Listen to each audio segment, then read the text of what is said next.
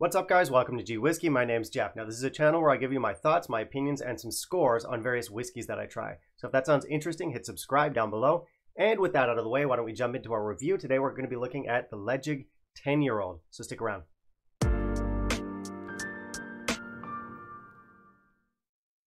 So Ledaig is from the Tobermory distillery on the Isle of Mull. It's similar to Tobermory, but for the Ledaig distillate, they've added some peat in there. And it's known for being one of the more peat-forward whiskies from the Islands region, or at least the Islands region excluding Islay itself. Apparently the water they use to make this whiskey flows under some fields of peat on its way to the distillery. Now, I don't know if that actually affects the character very much or at all, but it definitely makes for a cool story.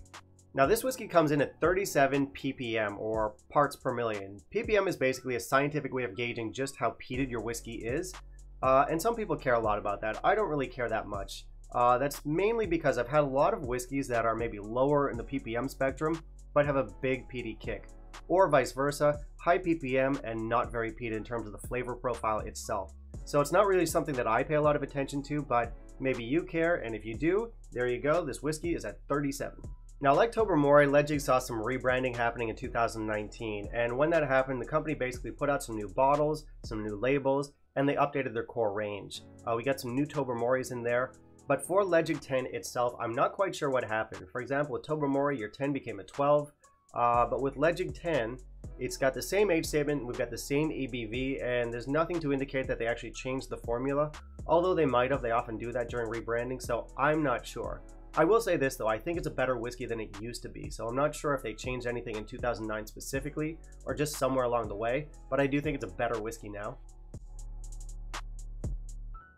Now for your new Ledaig Core range, you've got basically only two bottles. You've got your 10 year old and you've got your 18 year old. Obviously the biggest difference there is going to be the age, but beyond that, your 18 year old is going to be sherried, the 10 year old is not. Now I'm not quite sure how this is matured. I probably should have researched it before this video, but I didn't. Uh, but I would assume it's just 10 years in bourbon barrels. So yeah, you have your 10 and you have your 18 year old and not much else. So it's not a very big core range, but I will say this, it's a lot more present on the shelves. It's much more visible than it used to be. Uh, I remember back in the day, if you'd go to a shop in Taiwan, you weren't likely to find much from either brand.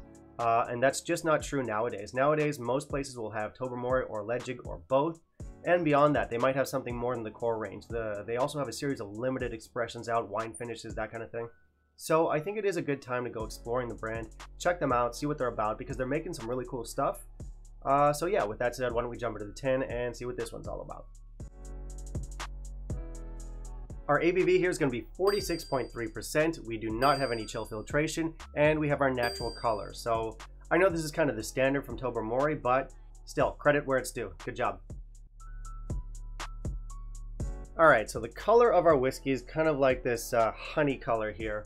Um, good looking bottle. As I mentioned in my review of Tobermory 12, I do like this look. It's a good presentation. For presentation, I'm going to give this a 4.5 out of 5.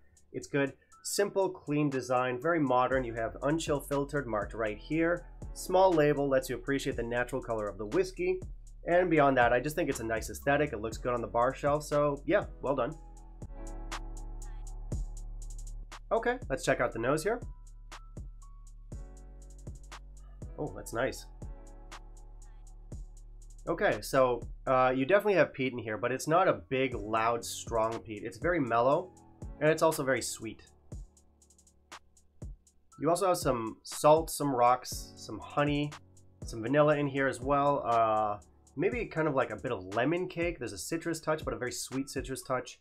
Uh, and there's also kind of like this I, I don't want to say weird, but very unique, fermented, almost cheesy note to this. So uh, really interesting stuff. Not very complex, but interesting, unique, and very characterful. All right, let's give the palate a go. Okay. Salty up front. Uh, lemon cake again. Vanilla. Lots of like rocky mineral notes in here. Uh, good dose of peat and some brine. Now for the finish. Hmm. Okay. So you still have that lingering sweetness in here, really mellow sweetness to this. Um, Your peat, your mineral notes, and your brine, those come together pretty seamlessly, very harmonious. You also have those cake notes, so like honey cake, uh, vanilla cake, uh, lemon cake, all these cakey notes as well. And finally, you have that kind of cheesy element, that fermented flavor, which I know sounds odd, but really, really works. Decent complexity, medium in length. For me, it seems like everything coming out of Tobermory these days is going to be interesting, it's going to be characterful, and it's going to be pretty good. Uh, and this one's no different. I really do like this one. I'll spoil it for you right now. I think it's a wonderful whiskey. Uh, and Ledaig in general, I think they're doing amazing things. I think their 10's a stunner, and I also think their 18-year-old is a stunner. So it seems like they can do no wrong. So yeah, I do think this is a really good 10-year-old, clearly. And beyond that, I think it's a really nice alternative to an Islay whiskey. I think it's similar enough but it's also different enough. You're not getting Ardbeg or Laphroaig or Lagavulin here. Um, it has its own unique set of flavors. Like I said earlier, you have that kind of like cheesy fermented note, which may not sound appealing, but you got to remember it's a peated whiskey, and some descriptors we use for peated whiskeys are pretty out there. You know, band-aids, charcoal, medicine. So within that context, it does work, and I think it adds a lot of character to the whiskey as well. Now, this isn't a whiskey that's gonna like stun you with its complexity. Um, it's not a basic whiskey, but it's a straight shooter of a profile. It's more just how all the elements kind of come together to make it kind of distinctive. Uh, like I said, you have that fermented note, you have lemon cake in here, you have those maritime notes, you have peat in here. So they all come together, it's really harmonious, and they make something that's unmistakably Ledaig. For the score, I'm giving this 89, and I know that sounds high, but it's just a whiskey that I really dig. These flavors check a lot of boxes for me. I think it's delicious. So an 89, and beyond that, I'd score this highly in terms of reachability. Now reachability I kind of keep separate from the regular score because it's more of a visceral thing. It's just how often do I come back to the bottle? How often do I reach for it when I see it on the shelf? And this one wins on both counts. Not only would I give it a high score, it's something that I come back to quite often. And I'm not the only one who's digging it these days. I think both Tobermory and Ledaig have been pretty well received, especially recently by the whiskey community. Uh, I think after the rebranding in 2019, they had much better distribution, so they've become a lot more visible on the shelves in the whiskey shops. And beyond that, I do think that they've ramped up their quality. I think they're making better whiskeys than they used to. So you bring those factors together, and I do think you're going to see increased interest in the brand. I think they're already making some really cool stuff, and I'm interested to see what they put out down the line as well. Now for value, this one's kind of a no-brainer. Obviously, I think it's a really delicious whiskey, but it's also a very affordable whiskey very budget friendly. And if you like those kinds of flavors, so if you like peat and Islay and island and maritime flavors, then you're probably gonna like this one.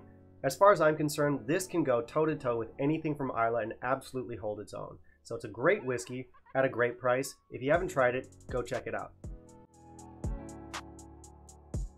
Okay, that's it for me today, guys. Thank you very much for watching. Do me a solid and hit that subscribe down below. Click that little bell icon and smash the like. Also, you know, I want to hear from you, so have you tried Ledaig 10? What did you think? Did you like it? Did you not like it? Tell me why. And finally, let me know down below what you would like to see me review next, and I'll be sure to keep it in mind before my next video.